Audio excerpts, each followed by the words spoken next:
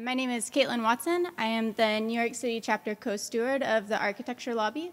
Uh, for those of you who don't know, we are a nonprofit, member-driven organization that advocates for uh, labor rights and is working on building power within architecture and allied professions. Uh, we're really excited uh, about the Green New Deal and organizing around it because uh, I think that it acknowledges that uh, there can be no sustainable world without sustainable labor practices, which is something that is very dear to us. Um, so if you're interested in learning more about us, you can uh, check out our table uh, during the 20-minute break that will follow this panel. All right, so uh, I had the pleasure of listening into uh, the discussion this morning at the workshop, so we're really in for something great. So I'll go ahead and introduce our panelists. Uh, we have Ellis Calvin, who is an urban planner at the Regional Plan Association, committed to making the New York region a more equitable and sustainable place. Uh, Jon Forster, who's a member of the New York City Commission on Human Rights and a leading member of the Civil Service Technical Guild, uh, Local 375, District Council 37, which represents engineers, architects, scientists, and project managers in public agencies throughout the city. Uh, then we have Oscar Oliver Didier, who is a Bronx-based urban designer from Puerto Rico, who's currently the senior lead urban designer for the borough of the Bronx at the New York City Department of City Planning, and a member of the adjunct faculty for the visual arts program at Fordham University. Um, we have Leah Meisterlin, who's an urbanist, GIS methodologist, cartographer, and assistant professor at Columbia University's uh, Graduate School of Architecture, Planning, and Preservation. Uh, Juan Restrepo, who's the Queens organizer of Transportation Alternatives, and Jennifer Scarlott, who is the coordinator of two community organizations, uh, Bronx Climate Justice North and North Bronx Racial Justice. Thank you. Hi, everyone. Um, I've been nominated to attempt the impossible and summarize a, an energetic, vaguely frenetic morning discussion.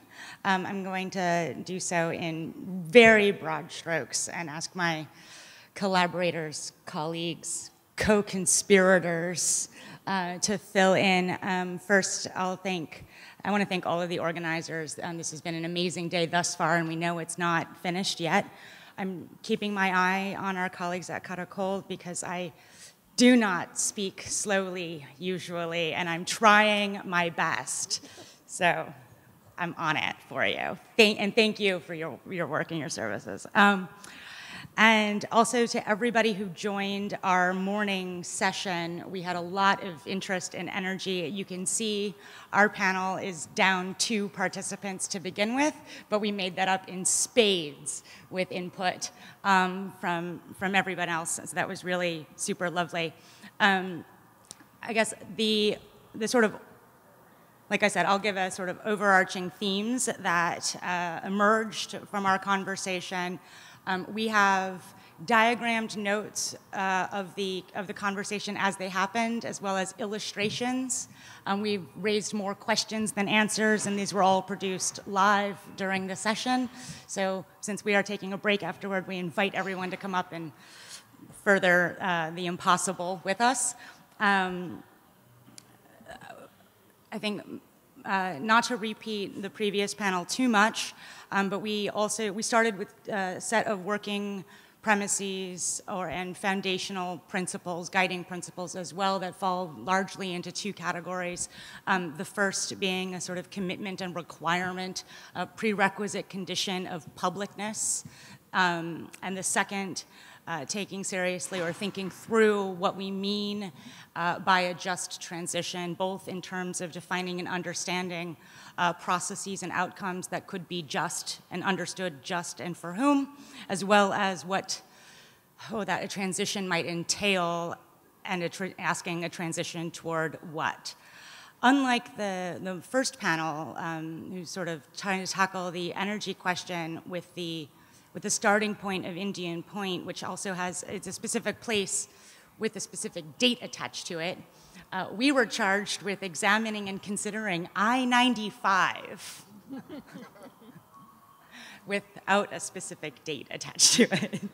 um, and, and that clearly guided, uh, like led us to conversations about, again, um, the extent to which our transportation infrastructure, especially our car-based transportation infrastructure, is meaningfully public, um, not just in terms of its public ownership, but the tiers and the hierarchies of publics engaged and involved in that ownership.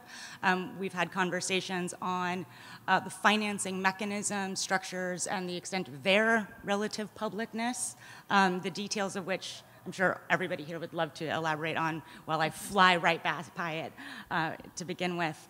Um, Right, okay, so then following from those sort of uh, premises, uh, most of our conversation fell into, like I said, three um, sort of thematic categories. First is a commitment or an understanding that whatever it is that we, in thinking through a massive um, 13 state, was it 13 state?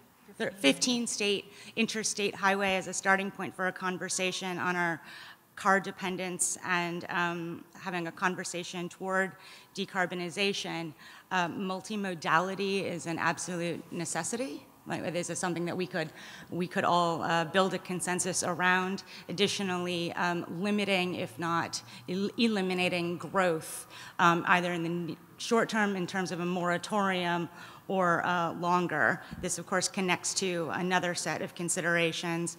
Um, the second large theme being one of connectivity and interconnectivity. Um, our uh, as a group, every uh, proposed idea, whether from the scale of a technical scientific solution to um, a complete overhaul and restructuring of our national economy, and we, every, everything happened in between as well. Um, included a, rec a, recognition that transportation, whether car-based or otherwise, uh, serves the purpose of connecting locations, right? And that as a result, um, we are always, or we can't talk about transit, uh, car or otherwise, without talking about housing, without talking about jobs, uh, without talking about modes of economic production, um, that a conversation about commuting is equally, like, starts to fold into a conversation about shipping as well, right? And that thinking through the trips involved means thinking about transportation as, the, as an infrastructure that is foundationally connective and so moving beyond transportation infrastructures as we see them now requires moving beyond development patterns that we have now and being willing to question those um, at multiple points along I-95 as well as um, thinking about that corridor more, more broadly. Uh, and that brings us to the last large theme, which is one of scale, right? That um, with each sort of posited proposal or idea, whether that is a punitive tax um, or on the other side of the spectrum, sort of uh, incentive-based proposals and policies. Um, we were, we were able to sort of form consensus around the need for local flexibility um, and understanding that there are motivations behind our transport infrastructure that are meaningfully interstate in nature um, but that currently we are relying upon many of our highways to serve decidedly not interstate functions, like local functions that can be um, reorganized and thought through differently. I'm thinking again about whether that's a matter of reorganizing local markets and local economies to allow for people to live and work and shop and acquire their goods where they are. Um, right, or otherwise. The other, the other half of scale is not only one of sort of land use organization and economic structure in physical terms, but um, the question of jurisdictions of decision making, right? Because I-95 um, crosses through localities, regions, and states, um, the functions that are not interstate by necessity might be reorganized, re-understood, and um, altered through local or state means, um, and of course, each of the policies or proposals that have met, found their way to diagrams and illustrations um, are potentially manifest uh, through, me, uh, through localized means. I'm going to put it that way. Okay. Those are the big ones. Go for it, guys. Um, okay, thank you. Great job. um, so, as an activist and organizer, you know, and going up to Albany to lobby and, and City Hall and all the rest of it, I often get um, asked by elected officials, well, what's realistic? You know, we have to be, as, a, as an elected official, I need to be realistic. Um, and I, I tend to want to throw that question back at them because as city councilors in Venice um, learned a couple days ago, um, immediately after they completed a vote saying that there is no climate emergency, their, their council chamber flooded for the first time ever. Um, so, so, you know, what is realistic? The IPCC says that we have 11 years, but um, it's widely known that IPCC scientists themselves say that's what we feel political pressure to say, that we have half that time. Um, and so when we sit here talking about what we're doing 10 years from now, 20 years from now, what is realistic? I just want us to continually grapple with that question. Um, and then, you know, um, as the previous panel did, there's the question in terms of equity of um, who do we listen to? Um, who do we talk to and why? Who should we listen to and why? The gentleman who was at the end of the table in the previous panel raised that so eloquently. Um, listening to state agencies, city agencies, you know, our electeds, I'm not so sure about. Um, the New York State Department of Environmental Conservation just gave approval to paving 18 acres of wetlands in Staten Island for big box stores and parking lots. Um, you know, at, at, a time when what we need is more wetlands, more buffer areas for, you know, storms. Um, and more carbon sequestration from nature. Um, there's a, a, case study that I'll just quickly mention um, in terms of who do we listen to, which is the Sheridan Expressway, which is a little uh, highway spur um, in the, the southeast Bronx, uh, going from Hunts Point up to I-95, has been, you know, a, a, a place of contention for a long time. Uh, Robert Moses back in the 60s you know, put it in but lost a battle to extend it up through the Bronx Zoo and the uh, New York Botanical Garden.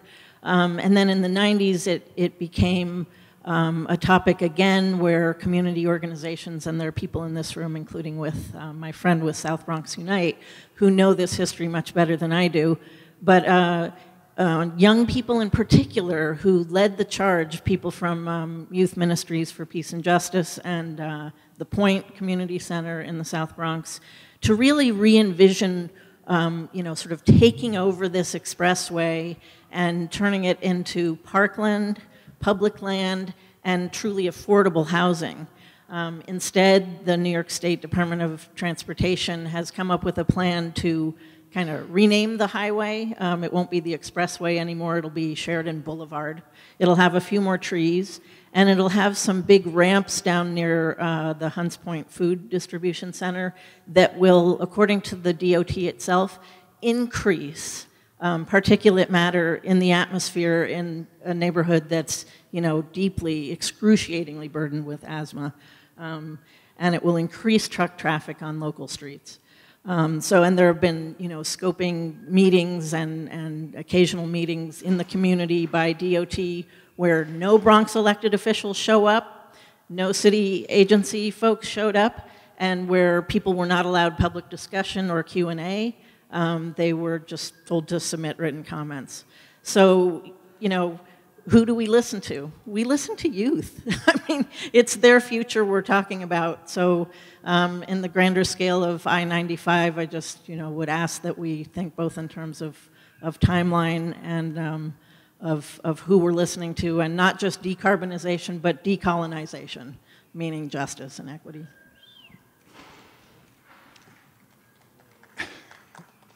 Great, thank you. Um, again, Jon Forster, just one little correction. I no longer work for the Commission on Human Rights, although I very much believe in their cause. Um, but I work actually for Local 375 at District Council 37, which represents 150,000 workers here in New York City that are public sector workers.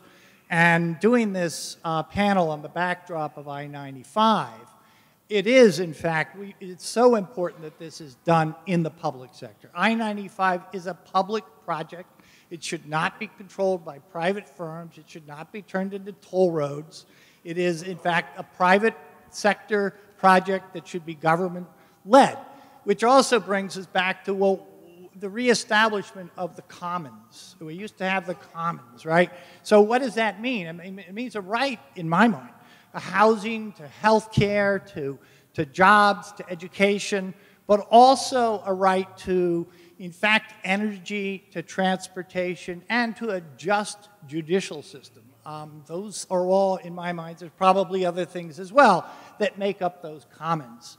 Um, as a public project, it's also terribly important that the, that the employment that happens and the work that takes place, and I don't, I don't think people were advocating that we destroy I-95. I don't think we have the time.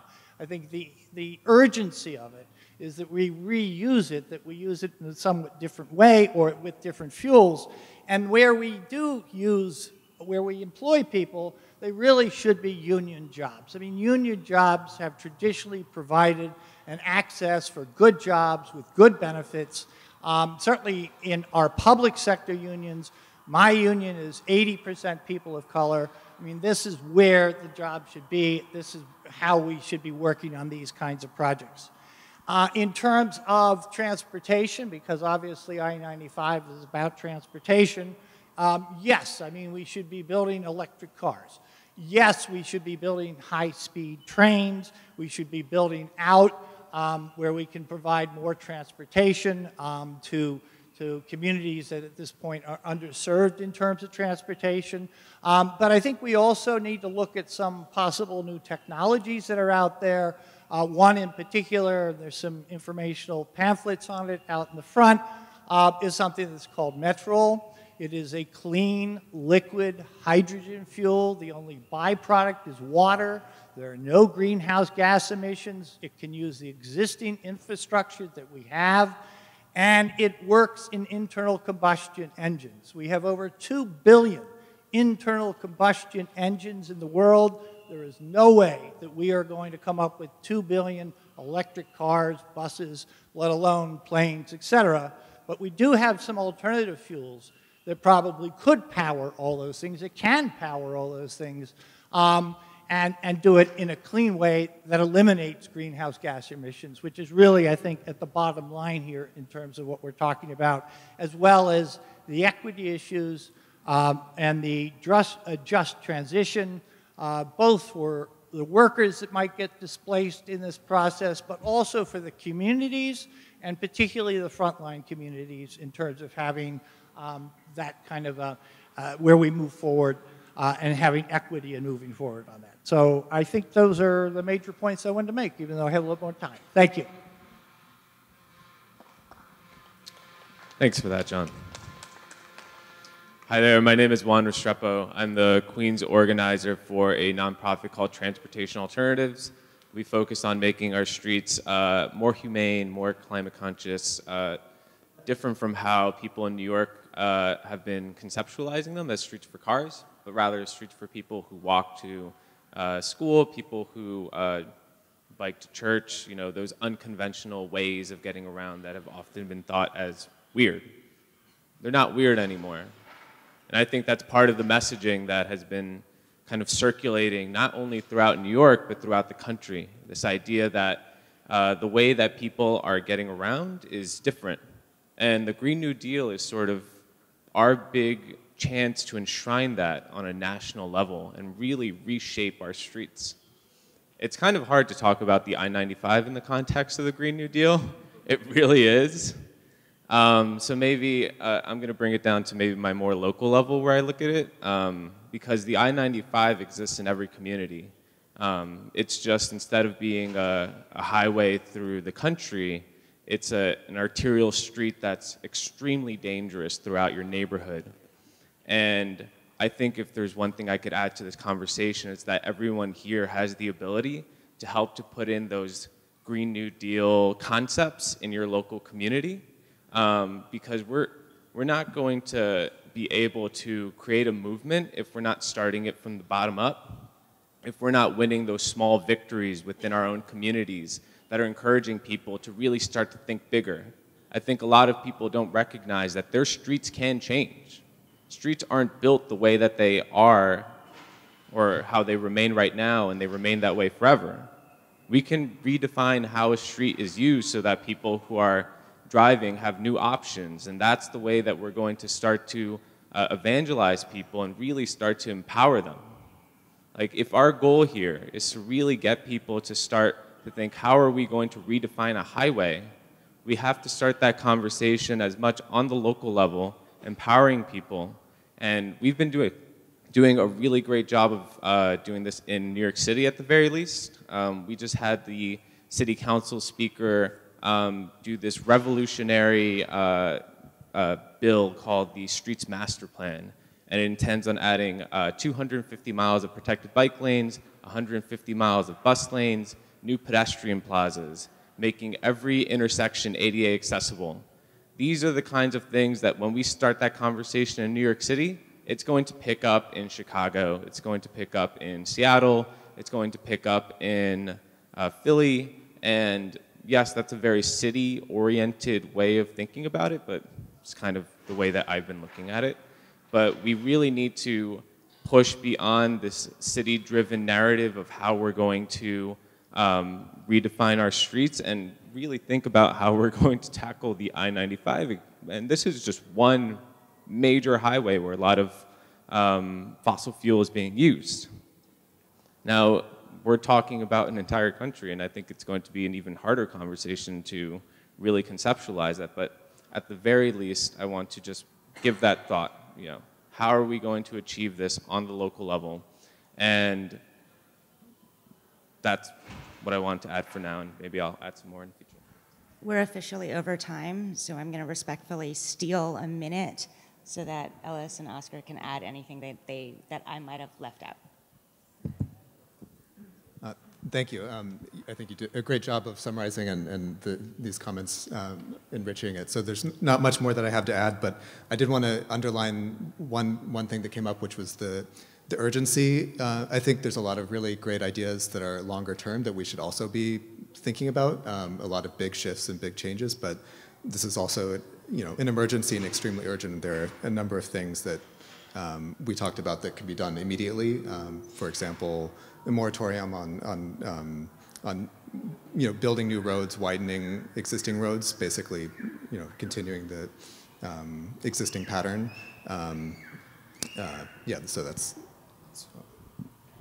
Hi, um, I'm Oscar Oliver Didier. I'm a Bronx-based urban designer from Puerto Rico, and I promise I'll be brief. I think that one of the most important questions that we sort of asked ourselves at one moment in time during the conversation um, was how do you define what infrastructure means in the 21st century? And I think this is a very important question because of, of maybe all the three buckets, um, transportation might have the more sort of physical um, condition or level of impact uh, uh, in our sort of daily routines and lives. And when speaking or talking specifically about I-95 and about sort of the highway system, we've, we've been able to rethink and reimagine housing. We've been able to rethink and reimagine open space.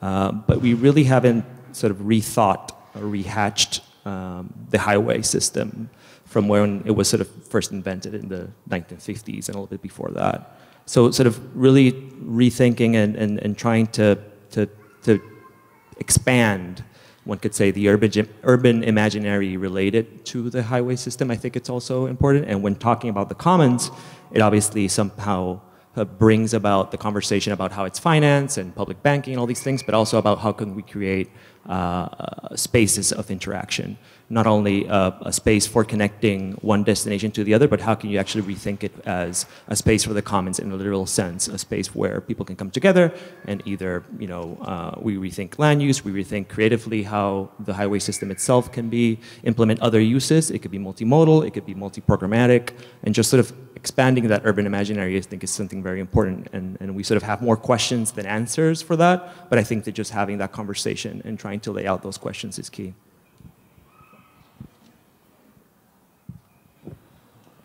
Thank you all. So now it's my pleasure to introduce uh, Catalina Cruz, who represents New York's 39th District in the State Assembly, which uh, encompasses the neighborhoods of Corona, Elmhurst, and Jackson Heights.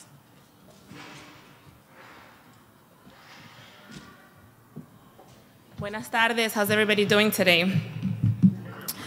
So I was, uh, I received this invitation a couple of weeks ago, um, and I will be honest with you, I didn't know what I was in for. Because often what happens in conversations about the Green New Deal or the environment is that it gets politicized. And we don't really get to have these in-depth conversations about what does it really mean? What does it mean for people in our community?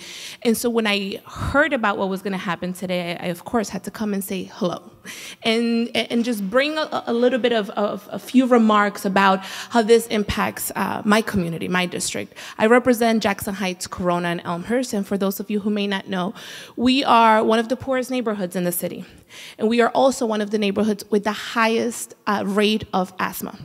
And this is, um, this is out there if you want to look at it. We're also very close to LaGuardia. We're very close to highways. We're very we have way too many cars I'm, I'm looking at you guys. Um, and we've been working for a very long time trying to find solutions to startup conversations. But we're also the kind of community that is more concerned with the immediacy of our problems, our immediate needs. We're the kind of community who is constantly facing eviction. We're the kind of community who's facing uh, deportations. We're the kind of community that is facing poverty. And it's been a very long time. Um, this conversation has been a very long time coming, where we can actually have a conversation about the environment while recognizing all those immediate needs. And I think uh, many of you might might agree that that the New Deal, that the New, Green New Deal, does that. It recognizes that innate relationship between poverty and the consequences of not taking care of our environment. And my ask of you today is as you're listening, is that you go back to our, our communities, to your communities, and talk to other people who are not here today. This conversation for many people is not a sexy one. They have many more things that are more immediate to the thing to what to their immediate lives. And until we start talking about at the kitchen table, at the bar with our friends, with our um, at the PTA, until we start really talking about what does it mean to live in a district, to live in a community where many are folks here from Jackson Heights. We all know about that airplane noise.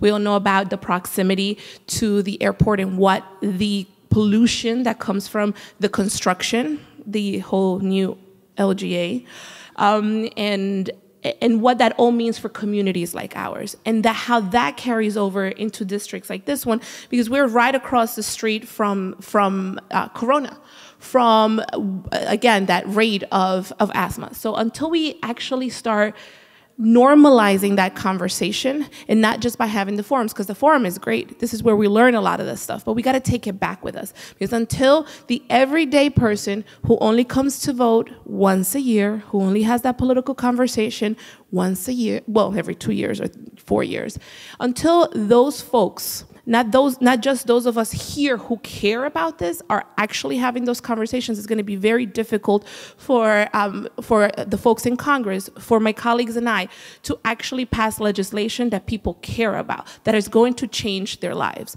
So that's my only ask of you. Thank you for being here today because that means you actually care about that connection about the environment about changing the lives of the people in our community.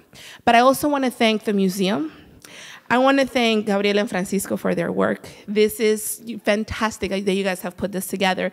The Architecture Lobby and the Buell Center to have partners that care about our district in the way that you do and who are taking the time to help us build this because I got to be honest, I don't think that this is the thing that's going to pass in one year or maybe two years. It's going to take a while for us to educate every person so that when they come out to the polls, so when they're advocating, when they're talking about this issue, they understand that it isn't just about their immediate needs. That if we don't take care of our environment the way that we need to, there's going to be no immediate need to take care of. Thank you so much and have a wonderful afternoon.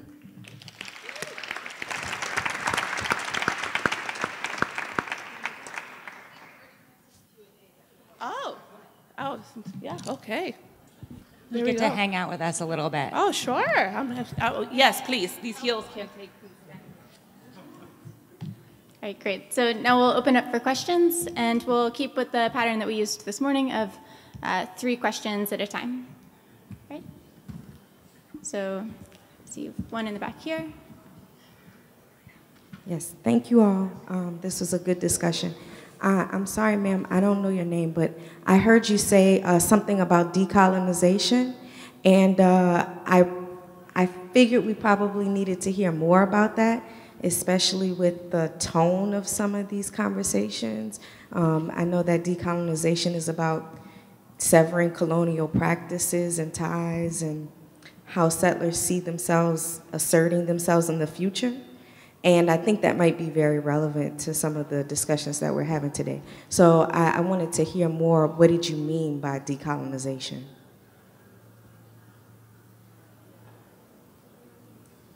Okay, and then we've got one here.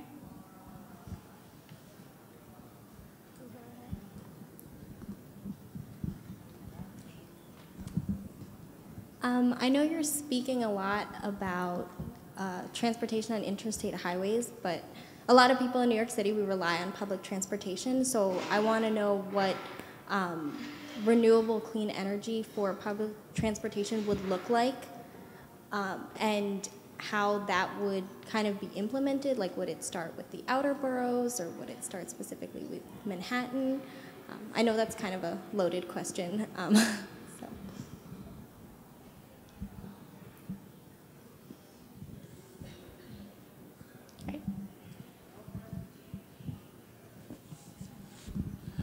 Hi. Um, maybe piggybacking on the public uh, transportation question. Um, I was just recently in the Netherlands where, uh, granted, they have a very strong culture of planning, but um, the same transit card gets you access to regional rail, uh, international rail, uh, bike share, and including um, Zipcar, basically. So you have a real nexus of intermodal transit all tied to one transit pass. And I wonder if the Green New Deal has space for something like that.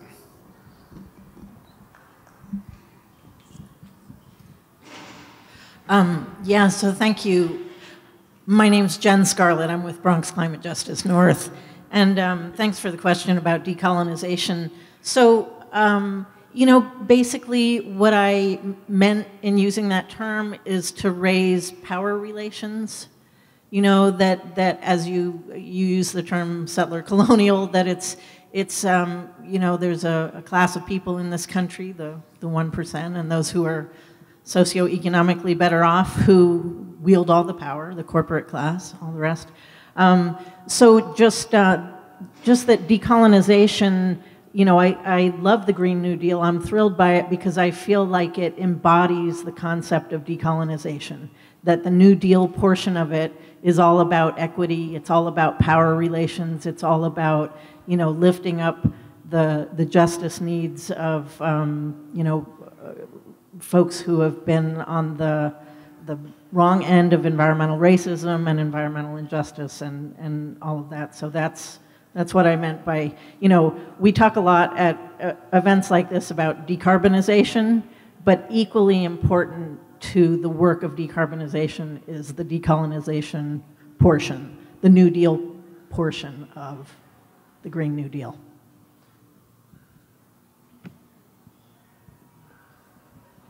Okay. Um, in terms of the, the renewable clean energy for public transportation, I mean, I think one of the amazing things about New York is that we have such a small carbon footprint per capita, and it, there's two major reasons for that. And, and one is because of the way we have, our housing stock is built together in so many places, so that the heating um, is more shared. But the other big reason for that is our subway system. I mean, we have been providing pretty clean um, public transportation for a long time. And in fact, the city is, is working all the time on rolling out new forms of that in terms of electric buses um, and, and uh, energy efforts. Uh, again, you know, I think we have a lot of possibilities there, and, and frankly, I would rely on some people that are working perhaps more closely to that than I am. Um, uh, I mentioned earlier the possibility of some new technology that would be energy clean, uh, liquid hydrogen fuels. Um, so I think there's, there's a constant look at that. In terms of the rollout, um, you know, it's nice when these things don't all start in Manhattan, um, and that we can, in fact, have these uh, starting in some of the other boroughs instead. Um, and I think that there is some sensitivity to that. May I propose Corona for a starting point? Yes. Um, to the, the, uh, the public transit question, so um, as, as Jon mentioned, electric buses is one way. The MTA has, uh, has started rolling out electric buses um, in, their, in their new capital plan. Um, they, they're they're um, going to be adding 500 uh, new electric buses. However, that's only about a quarter of the total new buses that they're adding. Um, I, I, think part of the reason for that is probably technical, that, that it is hard to build up that infrastructure, but that's still, still not enough. Um, um and um, it was also kind of a little disappointing in, the, in that um, capital plan that there wasn't much else uh, in terms of um, addressing climate change other than finishing up projects left over from, from Hurricane Sandy. Um, so it'd be great if, if the MTA took that a little bit more seriously and, and devoted, invested a little bit more in, in um, or, or quite a bit more in um, uh, green energy generation and electric vehicles. If I may add to um, the inability of the MTA to have a vision. Um, you know, one of the things that I think is very problematic is, is, is that they do start small, but they start late. And so I don't, I don't have much faith that even the number of, uh, of, of buses that they've committed to, that they're going to actually get around to getting them out on the road. Um, I mean, look at what happened. I, am not sure how many people have been reading, but what happened with the um, the, the the repairs that were supposed to happen on the seven train by the end of this year on that capital plan. They continuously don't meet their uh, goal or promise, whatever we want to call it. And so one of the things that I think folks up in Albany, including myself, are very committed to doing is making sure that we force them to have a more of a vision, that we make sure that we're having the conversations. They routinely come to us and brief us about a million things. Um, and this is one of the things that we're going to be raising with them. In a community like Corona, where we have transportation deserts, there are blocks uh, that if you have small children or if you're a senior citizen, it's going to take you a very long time to find a bus. And once you actually find a bus stop, you're going to be stuck there for a very long time waiting for the bus. Or you might get three, four buses that are empty and they just leave you. And so if we're able to have uh, this buses with this new, more safe uh, for the environment, you know, technology um, along these routes, I, I, am hopeful that it'll help the the health the health crisis that a lot of their working poor that in Corona that are living in Corona, and so I am very much committed to making sure that, uh, and I'd love to talk to you more about it so that we can push the MTA to get it together. I, I was going to uh, give a a somewhat roundabout response, if not answer, to the third question on sort of integrated transit options um, and those that cross uh, transit scales. Um, I think your question, sir, was whether there was room for such a thing within the Green New Deal legislation. Um, that's not for me to say, except I sure hope so, but I don't really know how. Um, and, but the how question is something that was raised repeatedly in our morning session, right? And this is a sort of one of those scalar um, sticking points. Uh, and that, again, not only the sort of scales of action, but the scales of decision making um, in both legislative and uh, jurisdictional um, implementation, enforcement, et cetera, terms, right? That that gets extraordinarily tricky, not only cross boundaries with regional governance, um, but in the nested boundaries um, in a federated, at best, uh, decentralized, um, sort of aiming for democratic uh, set of processes. Um, but I think it, in some ways, at least conceptually, dovetails with, with what the, with some of the Assemblywoman's remarks on sort of communicating and understanding um, or contextualizing these conversations with respect to the sort of immediate issues of everyday lives in households and in communities, right? Um, this, these scalar um, troubles that we came up, up against over and over again talks about is basically about the distance from oneself um, in both physical terms and in, like, in terms of time and where the urgency comes in. And repeatedly we found ourselves phrasing something as given and accepted as I-95 in terms of that trade-off between um, rent cost and transport cost, and this being a bread and butter kitchen table issue that all of us have to deal with, um, and our frontline communities even more so. Yeah. Go ahead. I just wanted to add something quickly about the, the, the decolonization and, and the fact that it was brought up. Um, I think it was very smart to, to sort of like use and rescue the term of the New Deal to sort of hatch this sort of new plan to tackle the environmental crisis. But I do think that from a historical perspective and from, uh, I guess, the, the, topic of scale, um, this also must be decolonized, uh, especially because the New Deal, the original sort of New Deal from the 1930s, really sort of, the people who reaped the benefits of that were mostly white people. And I think that in, in a certain sense, and here is where I go uh, to, to the topic of scale, at a more local level, we already talked about how, with the example of the highway system and these other sort of infrastructure investments, the communities of color were the most affected by precisely the contaminants and all these sort of things related to Asthma Alley in the Bronx, et cetera, et cetera. Uh, at a country-wide scale, obviously the benefits from having access to these sort of like cheap mortgages and the suburban expansion, that was mostly uh, the people who reaped the benefits were uh, the white suburban population. Uh, and in a matter of a global scale, uh, as we've said before, um, the impacts and, and most of the emissions that are coming and are creating uh, the climate crises are coming from the global north. And the part of the globe that's being most affected by it is precisely the global south. So it's also about talking about that kind of scale and thinking about reparations and thinking about aid, uh, not only at a country by country level, but at a global and sort of decolonization and global justice scale as well.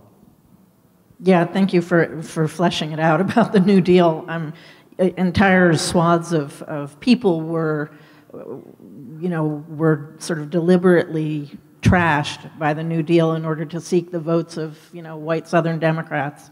You know, hopefully we all know a lot of that history. Um, just back to New York City's transit system, which is such a mess, as we all know. Um, the carbon footprint for transportation of New York City is among the worst in the world. Um, you know, and we have a supposed jewel of a subway system, but we, we all know that it's been allowed to erode to a, a really um, pathetic state. There are more than 2 million cars on the road in New York City. Um, and, and in general, New York City, you know, it doesn't have a climate plan, although it keeps promising um, to, uh, to put one together. Um, New York City's goal is still 80% reduction in greenhouse gas emissions by 2050. Um, more conservative cities like San Diego, you know, have a goal of 100% by 2030 or 2035. So we really have a heck of a lot of work to do.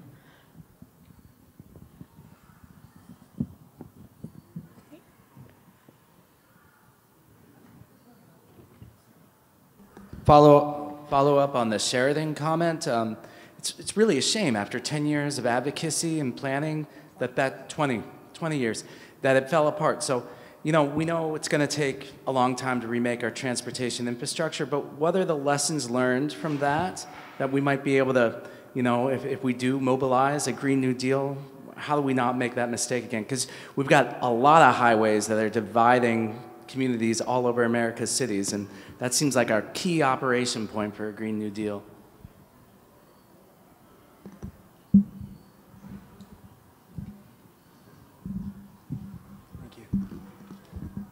Hi. Um, I also really love the Green New Deal for bringing economic and environmental uh, needs to come together and trying to address those kitchen table issues, the how do we bring these objectives into the lives of everyday people who are not as politically engaged on a daily basis.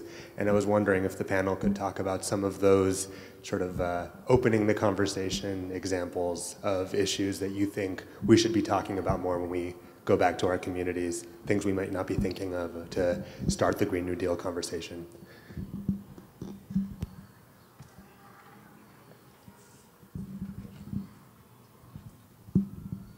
Uh, thinking about transportation, I'm also thinking about um, delivery of goods. Uh, Queens uh, wanted uh, no part of Amazon and Long Island City, but Amazon is still in Queens with their delivery trucks everywhere and clogging the streets and polluting on the highways. And uh, meanwhile, local shops are shuttering. So possibly part of the transportation equation also.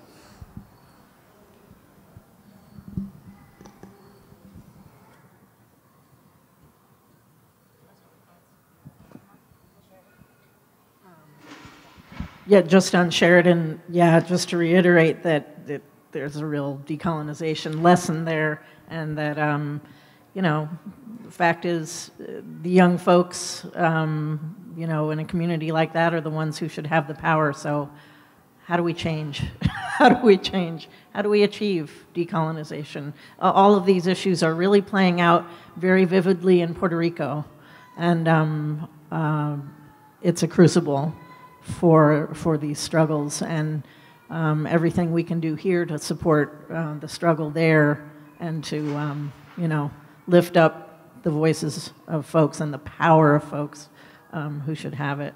Yeah, there shouldn't be any more Sheridan Expressway debacles. See, on the third question, um, I think within, sir, I'd be happy to talk at length about this later. I don't think anybody is going to enjoy that if I just go for it right now. But the summary version, at least from uh, as far as we got this morning uh, in particular, um, is that when is that your essential your, your, comment is spot on, right? That we, um, if we think about our transportation both at neighborhood scales or city scales and, and definitely regionally and interstate transport um, in terms of commuters or ourselves moving ourselves through the world alone, we are going to miss the mess of, um, of consumer and like consumerism driven shipping right? Um, and, and the uh, quantity of um, vehicle miles and the carbon that goes along with that and the infrastructure, physical and other, and digital that supports it, uh, the digital half also energy sucking, right? Um, that supports those movements of goods um, across this country and, and globally. Um, that takes a massive amount of political will, attention, loud voices, and willingness to change behaviors um, on, the, in, on the very sometimes selfish and oh so convenient personal level, right? Um, that's the short version. That's the short version. It, it, it restructuring um, certain parts of our economy to allow for less commuting is one thing. Um, we need localized markets and, and truly walkable and or alternative modes of not just moving about in a day-to-day way, but also acquiring everything we need to live. If, um, to the, I think it was the, the first question about um, how do we open up more of a um, conversation at, at, the table on, on the environment. Um, so I recently took a, a trip to, um, to Medellin, Colombia, where um, the government was able to do just that. And I think partially it was by, by forcing the conversation, by changing certain policies. People were, when I say pissed, they were pissed. One of the things they did is this novel idea of, I, I, I have no idea how to actually translate it, but it's called pico y placa. And basically, if your, um, if your plate ended in an odd number, on this particular day, you couldn't drive it. If your vehicle ended in an even number on this particular day, you couldn't drive it. And so they started actually passing laws that forced people to have a conversation about the issue and making it i mean initially people were having conversations they were pissed at the government but when they started to see the air quality rate actually improve if you had ever been to uh, bogota or medellin or certain parts in colombia 15 years ago and you went this year completely different air quality completely different air quality. People are, might be angry. I, I have this this thing that I say that sometimes we as electeds need to let the community lead us, and sometimes we need to lead the community. And I think it's important that in issues like this, we may need to pass a few laws that people may not be super happy about so that we can force the conversation about how do we as everyday people need to change what we do to actually improve our ability to live. It's as simple as that. And that is what they've done in, in, in Medellin. And so I would say we can we don't have to reinvent the wheel. We can look to see at other cities, countries, localities where this has been successful. We where we've made the environment, air quality, um, um, it, respiratory issues, something we talk about as a normal thing as what how does this affect me and how am i going to vote based on these issues? And once we are we're normalizing it we're going to actually see a little bit more traction. Because right now i will be honest it's still seen as an issue of the rich it's still seen as an issue of the folks who are middle class and up. The working poor do not have the time to worry about this. And until we are forcing the conversation on everyone so that everyone can see that this isn't just about the middle class and up, that this is an issue that if you you are many people I, I love corona but many people would live somewhere else if they could afford it but they don't right now because the rent is too high. And so they're forced to live near a highway, near the, the airport, near places that put their children's health in, at risk. So that I guess that's me saying we'll probably pass a few laws that people won't be happy about. I'd also like to just take a quick moment to also respond to Aaron's question. Um, something actually that the Assemblywoman said really resonated with me, which is to have these conversations also in the bars as well as other places. And the reason I say that is because I think we've been acculturated to not, that's not permitted. We're not supposed to have political conversations in bars. We're supposed to talk about football or whatever, sports, but not political conversations because that's my time to be, have a timeout or whatever. And I think we have to absolutely have those conversations in bars. I think we have to talk about the Green New Deal as probably our best last chance of survival. Um, I think we have to talk about that our culture of consumerism has to be rolled back, and that we can't just be a throwaway society in, in any respect anymore. Uh, we need to talk about those rights to housing, jobs, energy, transportation. But we also, I think we have to talk about it in terms of human equality, and human equality not just here in the United States, but internationally.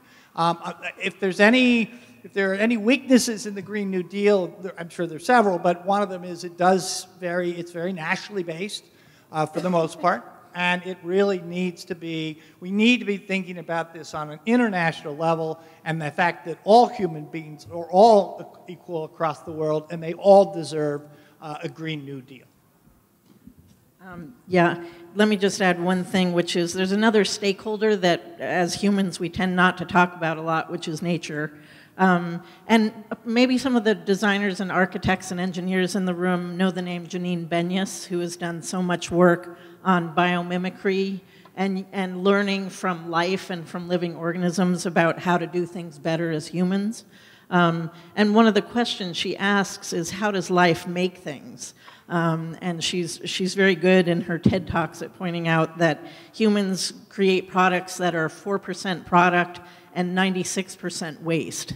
Um, and the, that we also, you know, tend to fail to, to create things that, that enhance the environment rather than destroying it, whereas living organisms have figured out how to live and take care of themselves while taking care of their place um, for you know thousands of generations forward. So she's really all about learning from nature um, learning how living organisms have solved all sorts of design and engineering problems, and um, that will help us live sustainably and solve this urgent problem we have.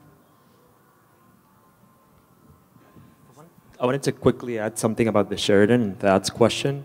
Um, I think that as a case study, it's a very relevant case study because from the incredible sort of outreach process and involvement of the communities uh, that were spoken about before, um, these recommendations, mostly either because of political purposes or the speed at what, uh, the, how they had to occur from a state level in the state DOT, um, they basically bypass some of these recommendations because it had to be finished before, you know, whenever the term was up, or it had to be quickly done, and again, mostly for political purposes. And why I think it's an important uh, case study is precisely because I think, and it's very important, that the Green New Deal, we keep talking about how quickly it needs to occur, and that's, that's obvious. I think that we are clearly in a crisis. But that when we're sort of speeding through the process, that we're really looking at the details and how they affect the community surrounding uh, some of these sort of infrastructure investments, whatever they may be. All right, so do we have any closing comments from the panel before we? Can I make a quick ask? I, am very hopeful that it'll pass. I'm very hopeful. I don't know when, but I'm very hopeful. And so one of the terrible things that often happens is that we will pass great legislation and nobody looks at the aftermath and if it worked properly. So this is more like when it passes, can everyone make a commitment to make sure that it is functioning the way that we want it to and need it to? Because sometimes we as legislators and as advocates will propose amazing things, but nobody does the follow-up to see if in real life and once put into practice it, it works the way it needs to. Because who knows, maybe we need to be even stronger or maybe something needs to be amended and that's a whole other conversation. But this is more like proactively, let's think about that and keep it in the back of your head. I'll make a partial commitment slash do you one better. I have a hunch there are a lot of people in this room that will not only give you that, but might also be able to commit to before and after implementation policy evaluation studies so we can improve it along the way. We'll also be in the streets. Yeah. Yeah. All right, on that note, we will uh, take a brief 10 minute break. So, just a reminder that there's no coffee or food in this space when you return. So, please uh, be back here in 10 minutes and do take a chance to come up and look at the diagrams that this team produced because they're great. Thanks.